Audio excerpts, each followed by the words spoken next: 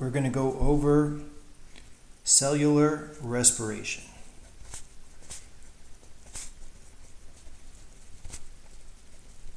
And first of all, let's understand why we call it cellular respiration. So most of you know that respiration refers to breathing. So we can do respiration, for example, respiration in lungs, right? And when we do respiration in the lungs, we know that oxygen, or O2, goes towards the lungs and therefore towards the blood eventually. And that from the lungs we release CO2. So this is a type of respiration that takes place in the lungs. Now, in this case, we're calling it cellular respiration. And so let's first understand why we call it this. If we look here, we have the blood. And the blood now, once the lungs do what they're supposed to do, is going to have O2 in it, or oxygen inside of it. And so now if you imagine that a blood vessel is carrying that oxygen.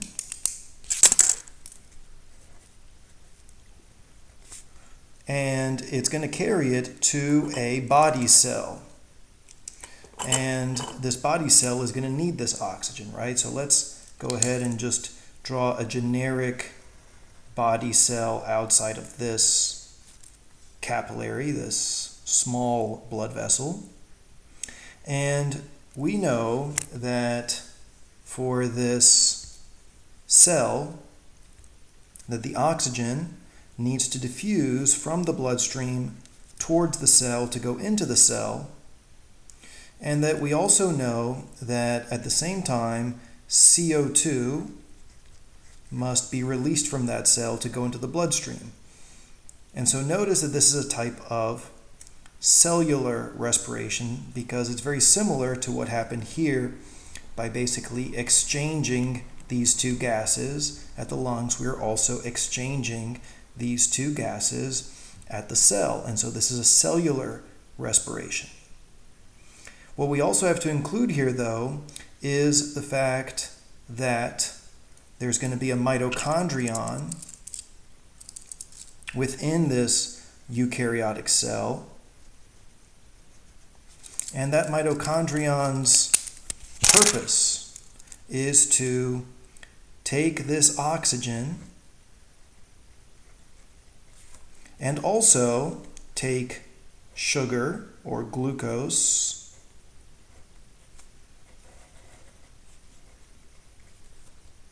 and then it will make ATP from these two which is the energy that cells need. And in the process, it will also release this CO2 as a waste that then goes into the bloodstream.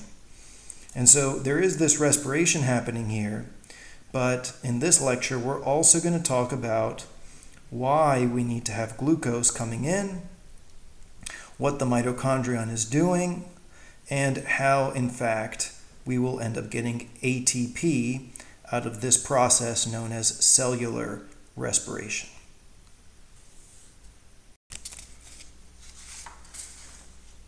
A second concept that we must discuss is we need to review the idea of reduction and oxidation.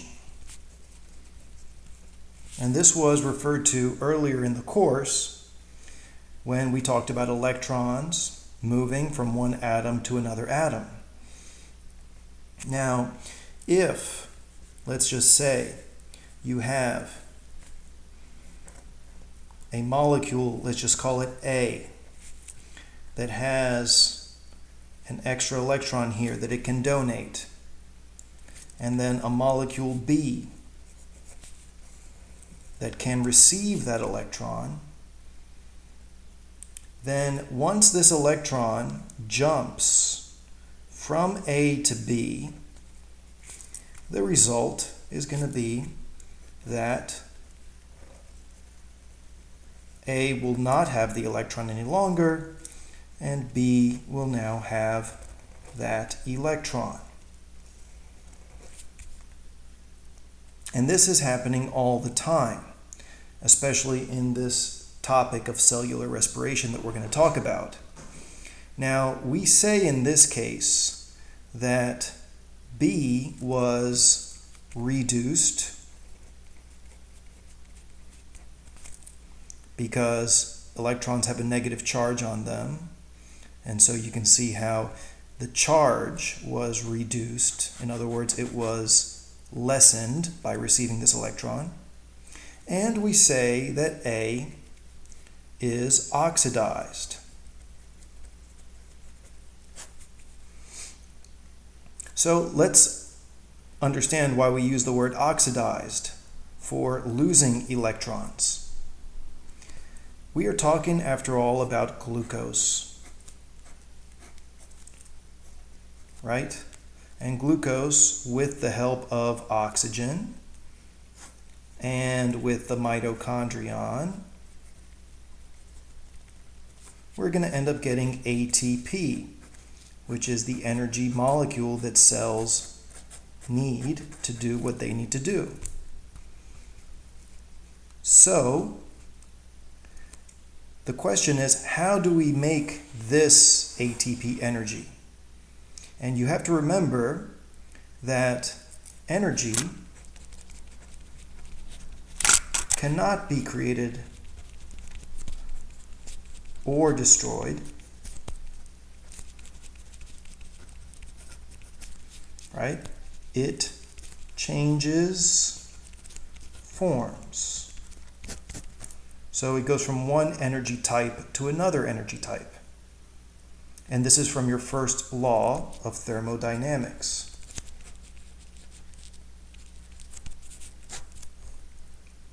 And so if you remember this, you have to think, well, where is the energy in the ATP molecule coming from? Well, it's coming from the electrons that are located within the glucose molecule. And what the mitochondrion is very good at doing is that it removes these electrons and gives them to other molecules within the mitochondrion. It basically steals the electrons of glucose. And by stealing these electrons, it now grabs the glucose energy and it then creates a new molecule known as ATP. And this is why we say oxidized, because notice that glucose with oxygen, right? Oxidized with oxygen. We can then take these electrons and remove them and then give that energy to a new molecule known as ATP. And in fact, if you remember what the ATP molecule looks like, it's an adenosine, that's what the A stands for, triphosphate. So three phosphates. And where is the energy now, you might ask? Well, the energy in this case is going to be primarily located in this last covalent bond that you have right there between these two phosphates. So within this covalent bond, you know that you have electrons because after all, electrons are what are creating these bonds. And in fact, the ATP hydrolysis reaction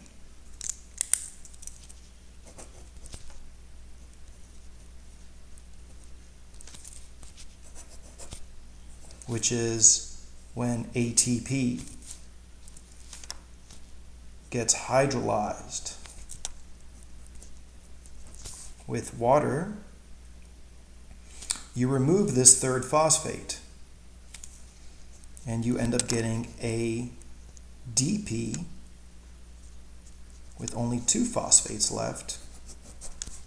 Plus now you have this phosphate that is broken off. But outside of this breaking of the bond, right, this breaking of the bond in here, when the bond breaks, that's where the energy comes from in order to power the cell. We are now ready to start talking about respiration and go into the details of it. So let's recall that this is known as cellular respiration because in fact it takes place in each and every cell. So what you want to remind yourselves again is that there is a blood vessel if we're talking about an animal such as ourselves, right? Of course, cellular respiration will be different depending on which organism you're talking about. So if we're talking about plants, it's going to be different. If we're talking about bacteria, it'll be different. But right now, let's just refer to animals such as ourselves that have a blood supply. And with this blood supply, we are going to get oxygen and glucose flowing to a body cell. So here's a body cell here. And this body cell has all the organelles that you've already studied. And really, the only one that we're concerned about for this lecture is the mitochondrion.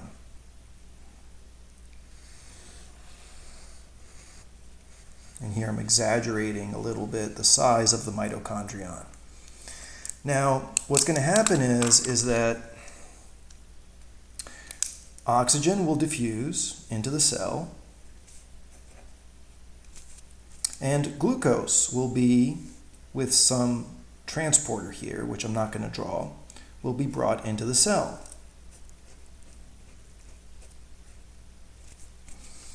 Now, not all of cellular respiration takes place inside the mitochondrion. So one thing to keep in mind is that the first step of cellular respiration is known as glycolysis. And in glycolysis, we actually stay outside of the mitochondrion. So there are proteins in the cytoplasm of the cell outside of the mitochondrion that can do glycolysis for us. Now, I'm going to be going back to this picture several times, but for right now, I'm going to move it off to the side and we're going to talk about what glycolysis is.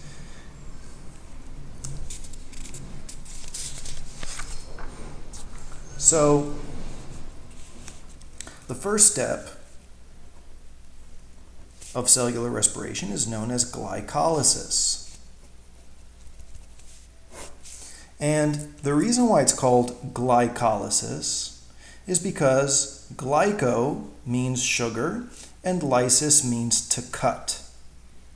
And so we're literally going to cut the glucose molecule. And so I'm going to draw six carbons out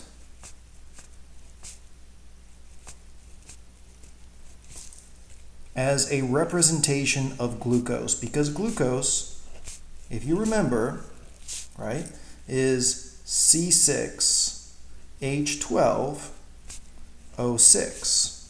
So I'm just drawing out these six carbons of the glucose molecule in a linear way, and your textbook oftentimes will depict it in a ring shape because that's how it actually is. But for this lecture, it's easier to draw it linearly because what we're going to want to do is we're, we're going to want to keep track of these carbons to see what happens to them. And so glucose is C6H12O6, right? And let's remember the overall equation of cellular respiration, which is C6H12O6 plus 6 oxygens, right, gives us 6 carbon dioxides plus 6 waters plus ATP and we also generate heat in the process.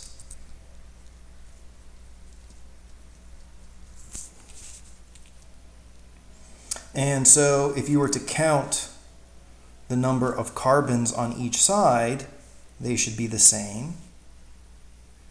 If you were to count the number of hydrogens on each side, they should be the same. And if you were to count the number of oxygens on each side, they would be the same. And we've done this in a previous lecture of balancing this all out. So refer to that one if you forgot how to do that. But basically, the big number in front, you multiply it by the small number that refers to the atom. If there's no number referring to the atom, you assume that it's just a 1. Okay? And so this is the overall reaction of cellular respiration. And what we want to say is that this is C6H12O6 glucose, which is now represented by these six carbons. And our first step is known as glycolysis, which is to cut this sugar molecule. Now, I do have a very detailed image of glycolysis, which is also found inside your textbook. And you do not have to memorize this entire image, all the steps. There are 10 steps of glycolysis. So we are going to simplify this as much as we can. And by simplifying it, we will look at the overall idea of it. So this is glycolysis in all of its detail and steps. And again, this is happening outside of the mitochondrion. And so let's keep track of the important stuff. First of all, this is the glucose molecule at the top that we start with. And it has these six carbons. And so that's important to realize. Now, every single step, we're going to get something new. And for every single step, what I have not put in here is that there is an enzyme right? I'll just call it E1 for enzyme 1 that gives us our first product, E2 for enzyme 2 that gives us our second product, and so on and so forth. So it's a series of enzymes that gives us each and every one of these products at every single step. And you do not have to know the names of them. We're just looking at the overall idea of this. But the idea is this glucose with six carbons goes into the first enzyme. And notice what happens here on the left side. You end up getting this ATP that has to get burnt, in a sense, in order to kickstart the whole process. ATP is the energy molecule of life, which is what we want to make overall in respiration. But notice that here you're actually burning it to, to kickstart the process. And so ATP goes to ADP, which means you've actually used energy to, to start this process. Okay, so keep track of the ATPs here. So the ATP kicks off the process. We get this first product, glucose 6-phosphate, which you do not have to memorize. Then we go to enzyme 2. We get this fructose 6-phosphate. You do not have to memorize these names. And then once again, we get this, uh, in this case, this reversal of the uh, once again in this case we get a loss of energy where ATP gets burnt to ADP.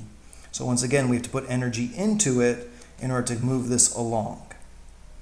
Now you get this fructose 1,6-bisphosphate and now this is a very important part of glycolysis, so I'll put a star there, where this one right here is still, right, we're still a six carbon molecule here. So we haven't split it yet. But notice what happens. This six carbon molecule now gets cut into two three carbon molecules. Let's go ahead and draw out these carbons. So now for the first time, we've gone from a six carbon molecule that's all connected as glucose is. We've changed it a few times, but now we've actually cut it into two three carbon molecules. Now this, this keeps going in different steps, but let's just point out that right here, what you see is you actually get something positive in terms of energy. For the first time here, you end up getting some ATP out of this. So it's right here at this step. Now, these two are going to mirror each other and kind of do a similar thing as they move down. So over here, you get it again for the other three carbon molecule that's moving down this way. So there's your first ATP. There's your second ATP that you actually made for the first time. And then this keeps going. These three carbon molecules keep on going and changing one enzyme after another for a total of 10 steps until we finally get to the very end. And notice this very last step once again has ATP that comes out of this, right? So we get some energy out at the very end. And we have to memorize the name of the product of glycolysis. That is very important, and that's known as pyruvate. So pyruvate has three carbons on it. So we get, in total, two pyruvates, right? So just to summarize glycolysis, we have We'll keep this close by as we look. Right, we want to summarize this and what we did over here, right? And we want to say that from glycolysis, we end up getting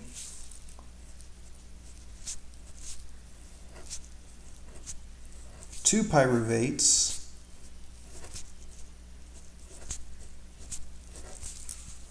So these are both called pyruvates.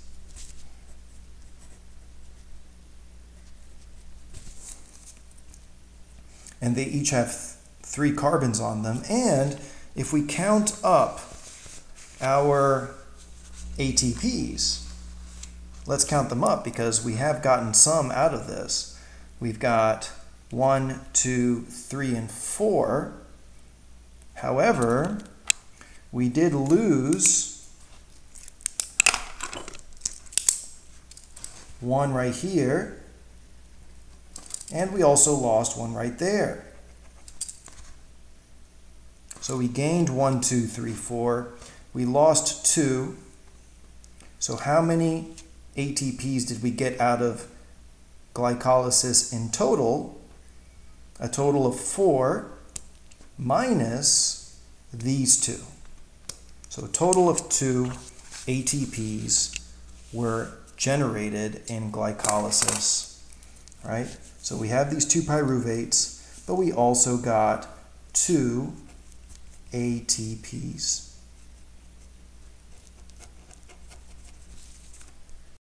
Well, what else can we get out of this other than two pyruvates and two ATPs?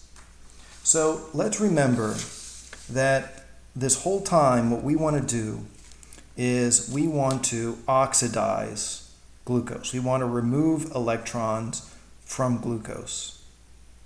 And so there's one more very important thing that happens in glycolysis, which is that at this step right here,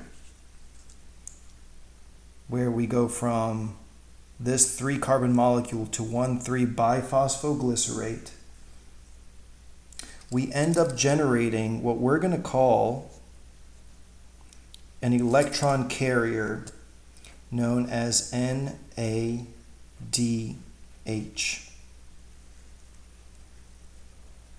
And we're going to do it for both of these steps. Now both of these NADHs are going to carry two electrons on them. And so this may seem like it's not a big deal. However, right, the whole purpose of this, right, the whole purpose is to take glucose and we want to oxidize it right? And if we want to oxidize it, we want to remove electrons from the glucose molecule. So one advantage of doing all of this rearrangement, which just seems so complicated, why do we have all these 10, all these 10 steps, right? Yes, we're making ATP. Yes, we're getting this pyruvate at the end, but also something that is very important here to understand is that we have removed two electrons at this step and two electrons from at this step, which means we have begun the oxidation of glucose and removing the energy from glucose. And the result of oxidizing is that we get two of these electron carriers called NADH, which now get to carry these electrons from the glucose on them. And this is our first example of a reduction slash oxidation reaction, which sometimes we just shorten as redox. And so now we can see how we have begun stealing, in a sense, the electrons from the glucose molecule. And we're not, we don't know right now what this is all about. We're going to have to wait until the very last step of respiration. But basically, these two electrons here will be directly important to make our, our ATP at the very end of all of this. So keep this in mind as we go along. So now what we want to do is we want to finish this glycolysis off by basically saying, yes, we have these two pyruvates, yes, we have these two ATPs, but we also have these two electron carriers called NADH. Very, very important to memorize NADH. And these two, again, are supposed to depict the electrons that are on each NADH. So now let's go back to this image to see the big picture here and to understand what happens next. So we have this glucose molecule that has six carbons, right? And again, sometimes it will be shown as this ring, but we're doing it linearly to help us keep track of the carbons, right? And out of glycolysis, we get two pyruvates. So the question is now what happens, right? So there were 10 steps to bring us to these two pyruvates. And now we can finally go into the mitochondrion. So let's go ahead and do that. These pyruvates enter the mitochondrion. And now let's draw the mitochondrion bigger to see what happens to these pyruvates.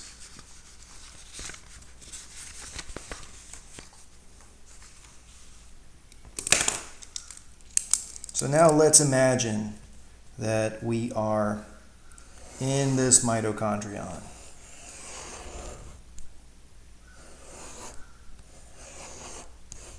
Right? And we've got these two pyruvates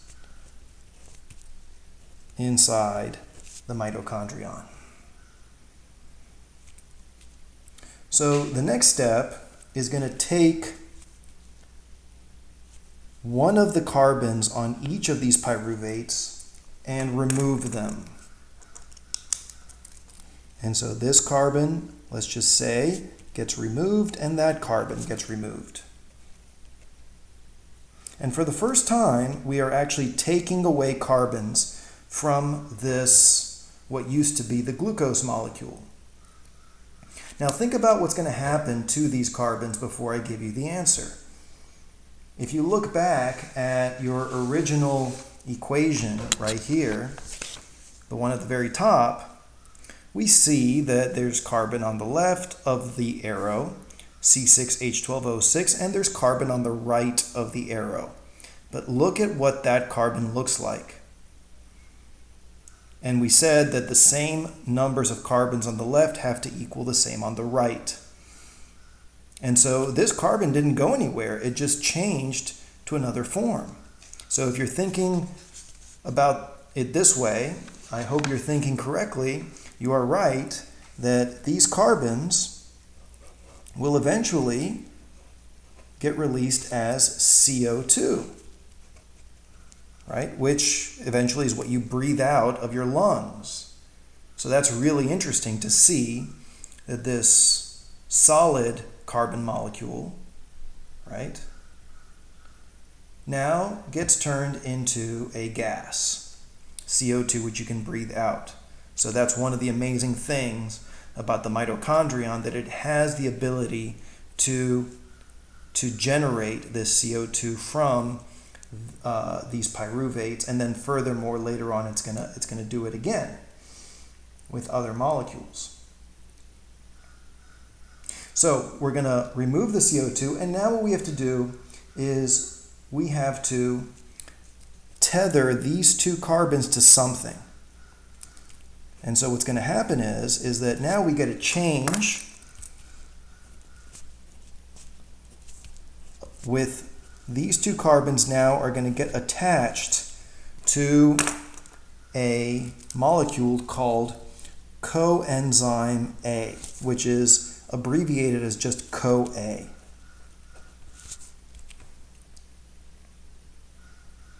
So right now you have these two carbons attach to a coenzyme A each.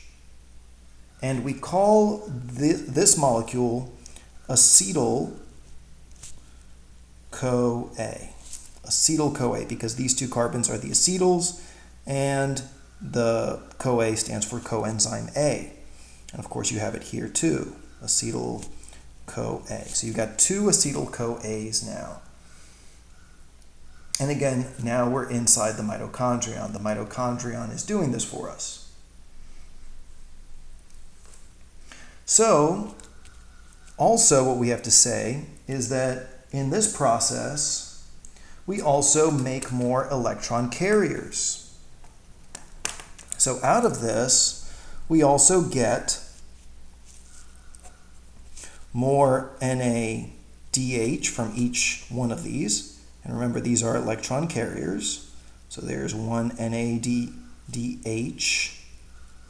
with those two electrons. Again, removed from the original glucose molecule, right?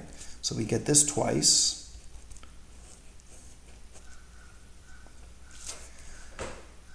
And this whole step here of getting the pyruvate to then change to this acetyl-CoA is known as pyruvate. oxidation, which instead of just memorizing this, try to really think about why it's called pyruvate oxidation. Well, remember that oxidation just means, right, that we take a molecule, let's just call it A, and we remove electrons from it and we give it to B. So you can imagine that A in this case is the pyruvate, and B in this case is that electron carrier NADH, right? So now hmm. that has the electrons from the pyruvate. So it's pretty interesting how all of this makes sense. We, we once again are removing electrons from this carbon molecule to generate a new molecule. And we also lose carbon dioxide or carbon in the process that generates our carbon dioxide. So let's go ahead and abbreviate this step as step two here on our original sheet. We'll call it 2 pyruvate oxidation. And pyruvate oxidation is when you take two pyruvates.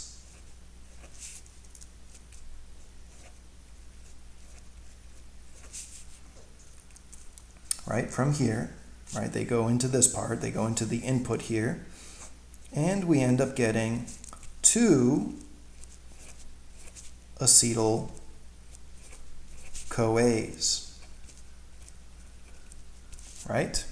However Let's also include that we end up getting two electron carriers and we also lose carbons so that we end up getting our CO2.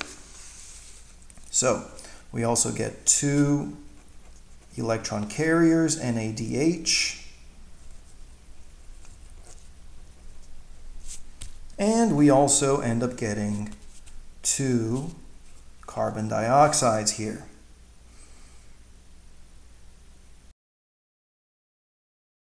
So now we're ready for our third step.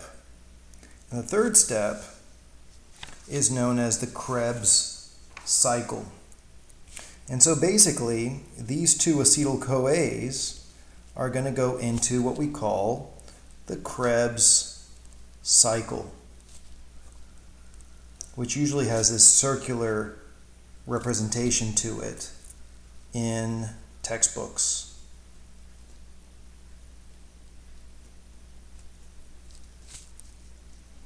Krebs cycle. Right? And this is again inside the mitochondrion. So let's go ahead and look at the details of the Krebs cycle, which is pretty fascinating. So we want to keep track that we start with acetyl-CoAs. Now what we're going to do is we're going to have just one acetyl-CoA come in.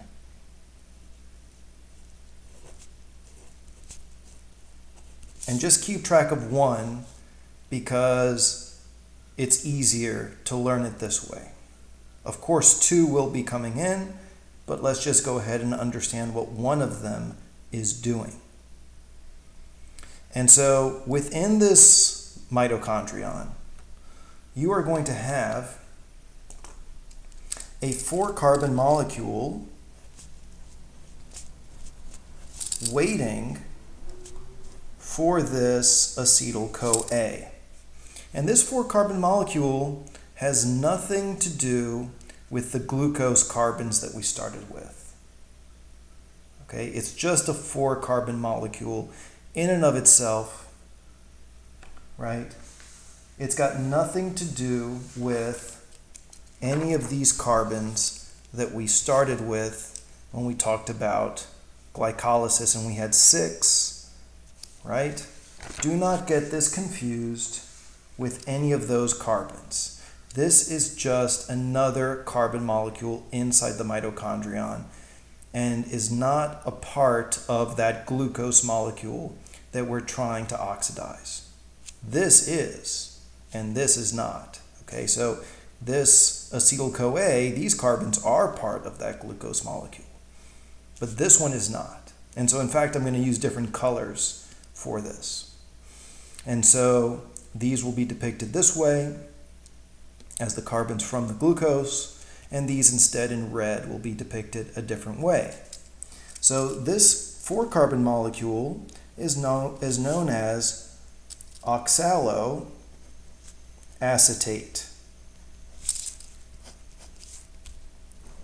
And so it's good to know the name of this one. Um, we do not have to memorize all of them, as we'll see, but at least know this one. It's a good one to know, right? Just to make sure that you understand that this acetyl-CoA is going to run into it.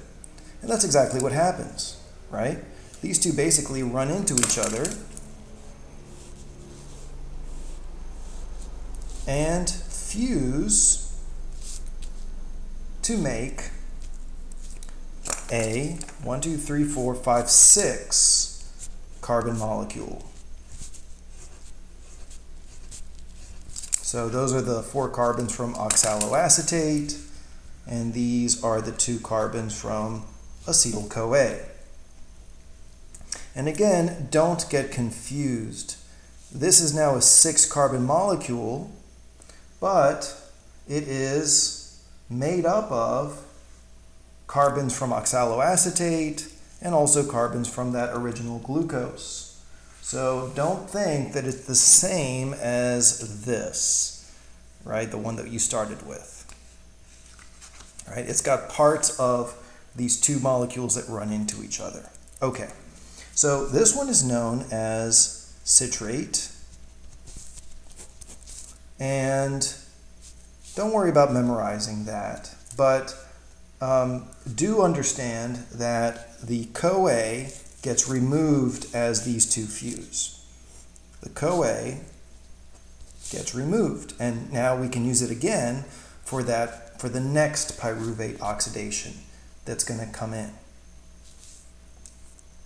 Okay, so now we have a six carbon molecule, and now all of these have names to them, and you don't have to memorize them, but let's at least understand the big picture. So this six carbon molecule will end up getting turned into a five carbon molecule. And so notice we have lost a carbon in this process. And so think about what happened here to this carbon, right? This is one of the carbons from the original glucose. And again, you always want to refer back to the overall equation, which is that this carbon, right, turns into this carbon here. So now think about what that's going to turn into. If you guessed CO2, you are correct. So we end up generating CO2. And we also end up generating a Na DH, which these are very, very important. We're going to see how important they are very shortly, but you want to keep track of these.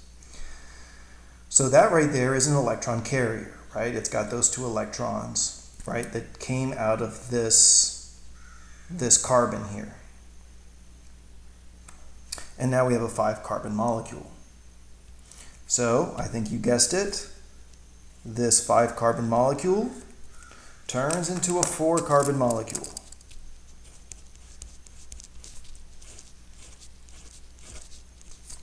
Which means we have now lost, and this is pretty important, we have now lost that last carbon that we had from that original glucose.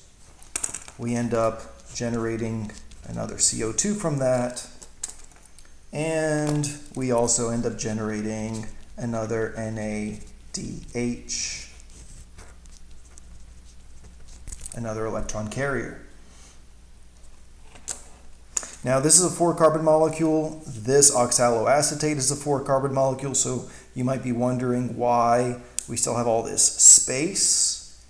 Well, what we're going to do is we're just going to rearrange these a little bit and adjust them as we move along because we still have a little more material to get out of this. And so let's go ahead and rearrange this a little bit to another four carbon molecule. But as we did that, we were able to get some ATP out, some energy, which you always want to keep track of the ATPs in, in respiration. Okay, and again, you don't have to memorize the names of these four carbon molecules. They each have different names. But just know that we are getting some ATP. You shuffle it again a little bit, and you get this another four carbon molecule. Now let's put a little star here. We're going to get something very similar to NADH, but it's called something different. It's called FADH2. This is another type of electron carrier. Don't worry too much about understanding why you have two types of electron carriers. They have a very, very similar function. So for our purposes, we'll just call these electron carriers.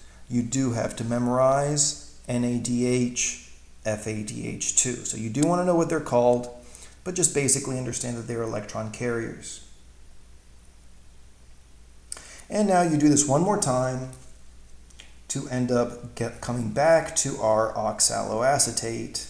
Another rearrangement. However, we also get NADH out of this last rearrangement. And so notice how, even though we had this four carbon molecule down here, by rearranging it a few more times, we were able to make some ATP, and we were also able to generate a couple of more electron carriers. And this is known as the Krebs cycle.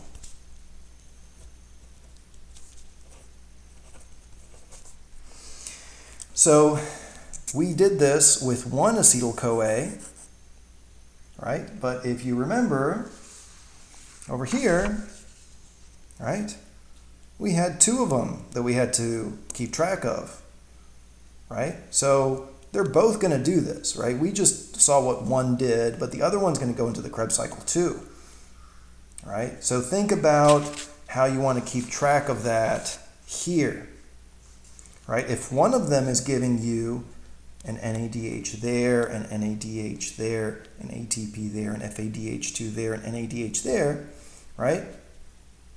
Then you multiply this by 2 basically to get your overall, right?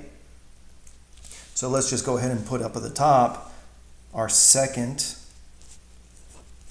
acetyl-CoA because, right, two of them are going to end up doing this. And then let's multiply what we get out of 1 by 2. Right, so here, right, two NADHs actually come out here because we got two of them that are going to do it. So two NADHs, um, here it's going to be 2, 4, right? and then 6. So 6 NADH total, right?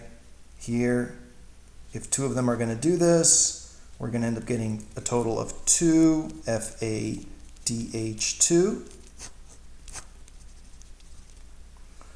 Right? We're going to get a total of not one but two ATPs and our CO2 that comes out right there and right there, right? That's only for one of these, the two CO2s, but actually we're going to lose all of them, all four of them. So four CO2s are going to come out of the Krebs cycle. So you want to keep track of that. Let's add that to our original step summary right here right? We'll call this 3 Krebs cycle, right? And we know that we have two acetyl-CoAs,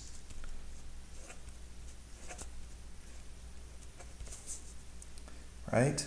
And we know that out of this, okay, out of this, right, we burn through all our carbon, so these are all gone.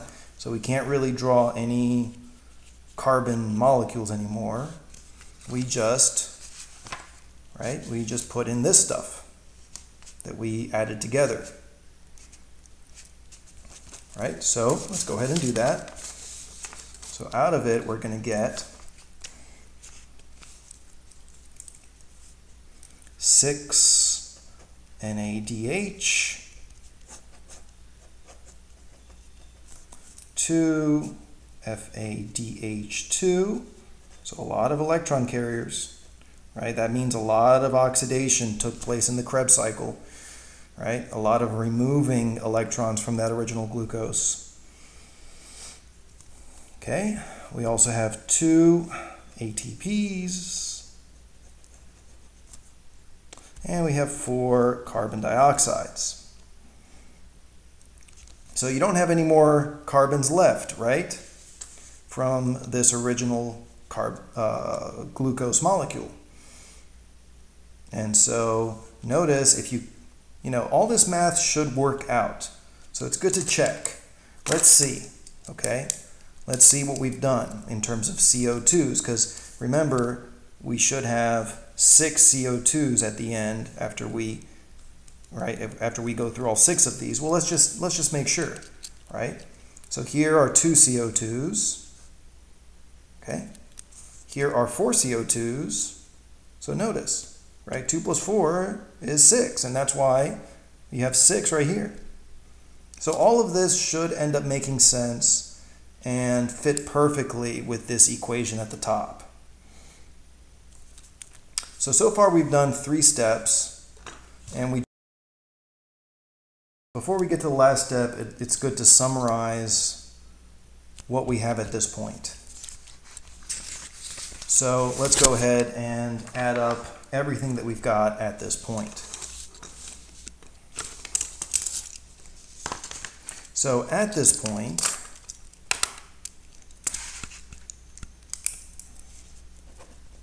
at this point, right, what do we have?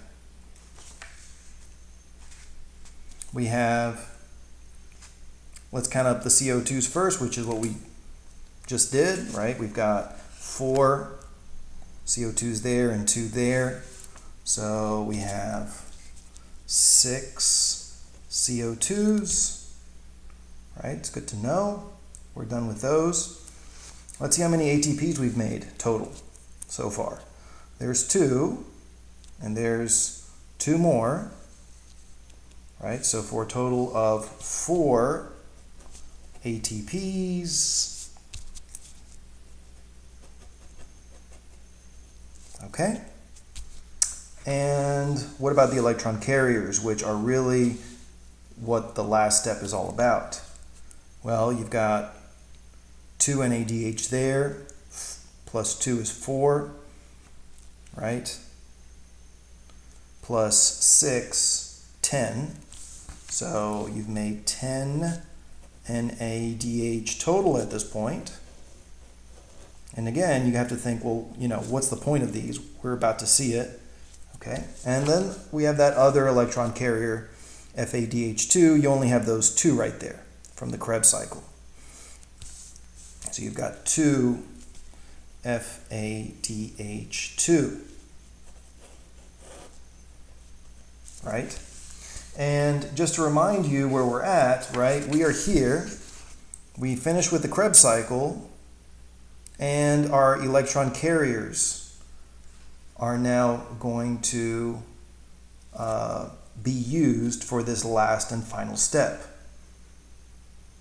So Let's draw another mitochondrion here with finishing with the Krebs cycle and going to this last step. It's important to remember what mitochondria look like. So mitochondria do have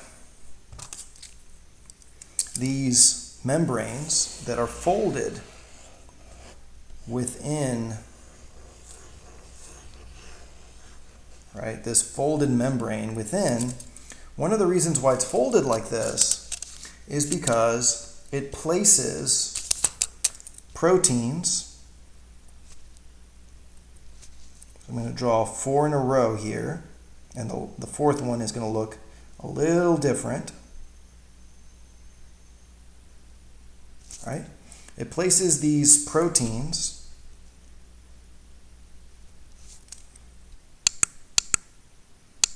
within that phospholipid bilayer membrane there. And it does that, okay, it does that throughout this folded membrane.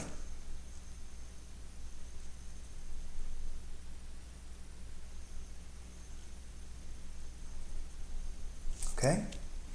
So you've got these four, four proteins in a row that are studded all over the place here, okay? And I'm, I'm just going to draw it one more time, but you know, you have to imagine it pretty much everywhere this folded this folded uh, membrane, okay? And you got to think, well, what's going on there? Well, th this is known as the electron transport chain. And so we're going to zoom in onto one of these and really see how it works with these electron carriers, right? Because remember, you've got the Krebs, which is going around, right? And out of this Krebs, right, you're getting your NADH and your FADH2 that come out of this Krebs, right? And so, and we had these also elsewhere as well. But now we can really see what the purpose, sorry for that last F, that's an FADH2, okay? Uh, kind of smudged that a little bit. But these electron carriers are now going to go to these proteins. And these proteins are going to do what they are famous for doing, okay? So let's go ahead and zoom in on to, uh, let's just go with this one right here. Okay, let's just go with this one we we are going to zoom into this one and see what it looks like. So just keep that image in mind. So here is that part of that protein. I'm sorry, that part of that membrane, I, I wanted to say. And you have these proteins that are kind of channels.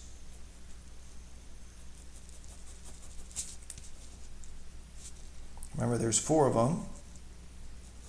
And they have different names, but for the purposes of this of this course, you don't have to uh, worry about the names of these.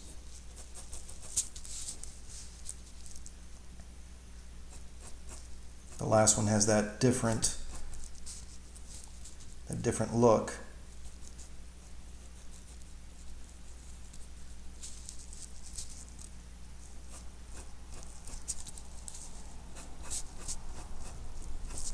Okay, so here we go. Here are these proteins. And basically, what we want to do is we want to bring in our electron carriers.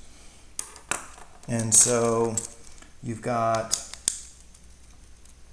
the NADH that comes in to that first one and these electrons end up going from that NADH to that first protein and so now for the first time you've actually removed those electrons from these electron carriers right so now these electrons are found right there on that protein and that NADH has now lost them to turn into NAD plus, so it's, it's, it's lost those electrons. It can now go back uh, to early steps and try to grab them, but now these electrons are here. And um, these electrons are going to also come off of the FADH2.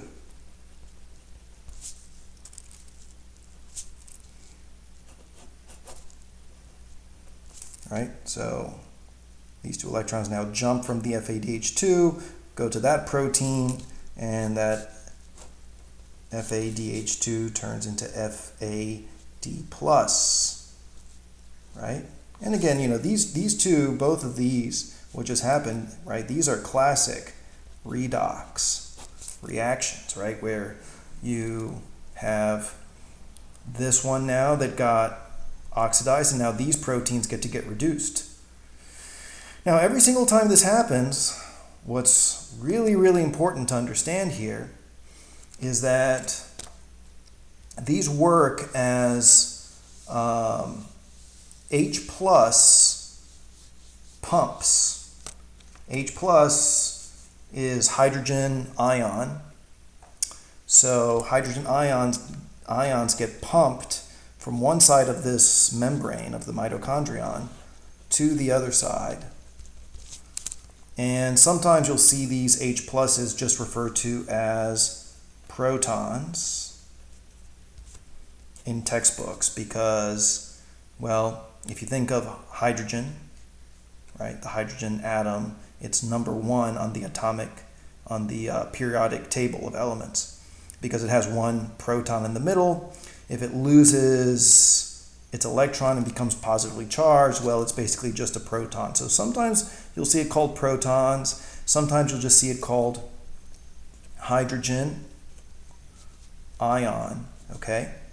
So just, uh, just you know, be aware of that, that that's the same thing, right? Whether you call them protons or hydrogen ions, it's the same thing. And so all of these are going to do that. They're all going to take H plus and pump it to one side of this membrane to basically get one side of the membrane um, very concentrated in H plus. Now this last um, this last protein here is going to end up, if we look at our original equation, which is this one, right? If you remember, we uh, we talked about glucose with the six carbons. We talked about carbon dioxide, right? However, we are missing the oxygen and the water here, and so th these proteins can explain these two entities. Okay, because what's going to happen is is that these electrons are not going to stay on these proteins. They're going to end up jumping from one protein to the next. They're going to, like a domino effect, the next ones are going to get pushed to the next one. And now these electrons are now found on this last protein in this chain. And so now what happens is that you end up getting, instead of hydrogen pumped to one side. You take hydrogen and you take two of them and you give it to oxygen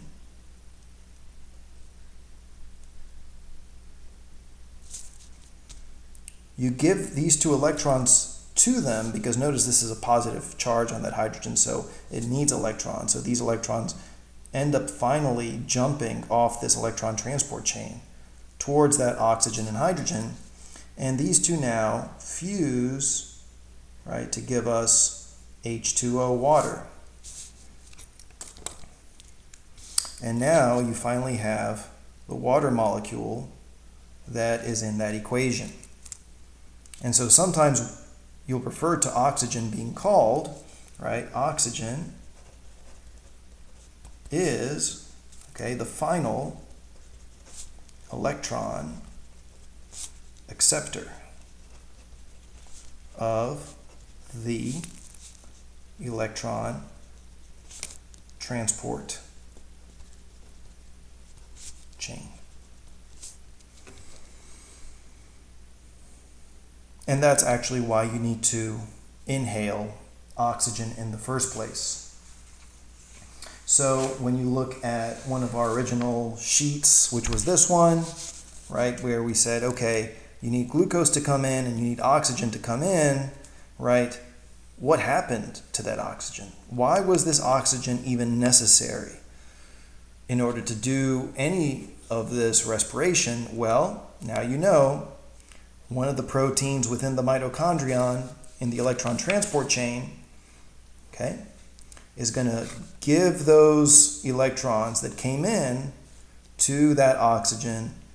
It's going to grab some hydrogen as well, and it's going to generate that water. And that's going to allow for these electrons to basically get removed from the electron transport chain. So the electron transport chain can do this stuff again because if it's filled with electrons, the electrons uh, are not going to jump from the electron carriers to it. So it needs to empty its electrons out, and oxygen receives them in order to generate the water. And now, when it empties out the electrons, we can get more electron carriers to come in, right, and keep on pumping hydrogens to this side of the membrane. And so what happens is that this side of the membrane fills up with a bunch of hydrogen because of this electron transport chain. And now we finally get to the last part, which is this protein at the very end. This protein at the very end is going to use this high concentration of hydrogen. And if you remember diffusion, one of the reasons why we talk about diffusion so much is because we see it over and over again. And diffusion is when we go from higher concentration right, to lower concentration. And so all this hydrogen here now is in high concentration on this side of the membrane. It now wants to go to the other side of the membrane. And so that's what it does. It starts going this way through this last molecule. And this last molecule has an amazing ability to use that H plus going through it to spin around like a motor. So it starts spinning, literally spinning like a motor. And that spinning ability allows for it to take ADP and P, right?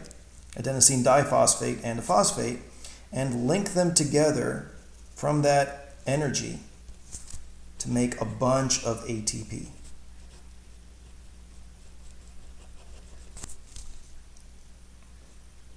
And basically, if you want to know how much this can do, right, from one glucose, right, oxidation,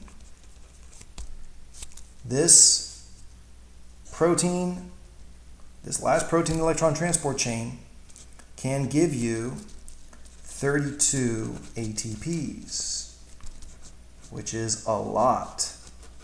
So all of a sudden you cash in with this last protein. And so this last protein has a very important name. It's known as ATP synthase because of the word synthesis. It synthesizes ATP. That's the name of this last protein in the electron transport chain. And it has that name because of this right here. And so now, if you really wanted to add everything up, right, after the electron transport chain, right, so this was before the electron transport chain, we had this, okay, Okay, after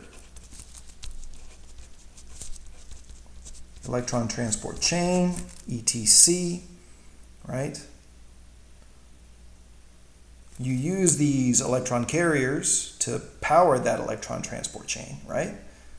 Now you can add your 32 to that 4.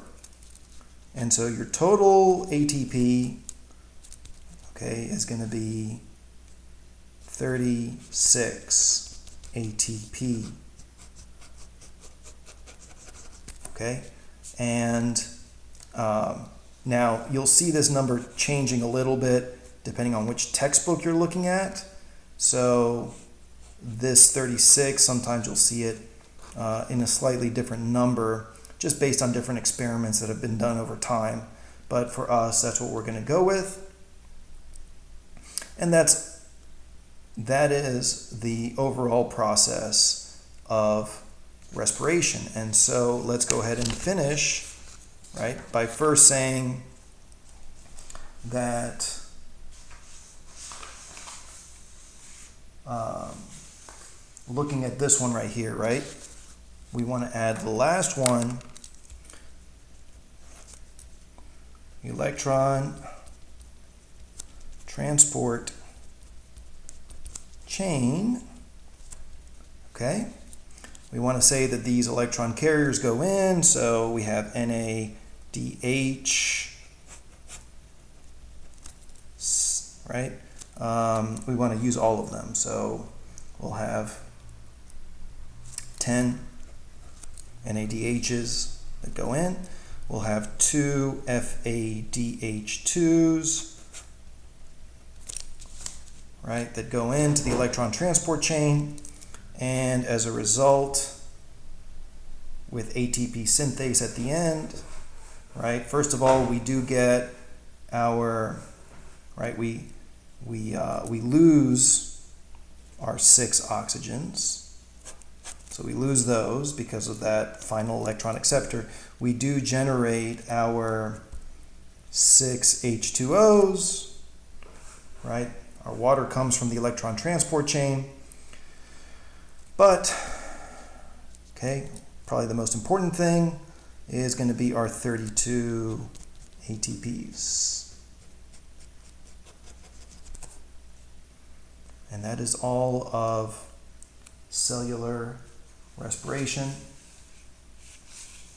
Um, you want to go over this several times because obviously it's complicated. I will say I have simplified it as much as I can, but uh, this does take practice. So keep on writing these out and uh, try to get um, some enjoyment out of learning such an such a in interesting process that your body has to go through every single time.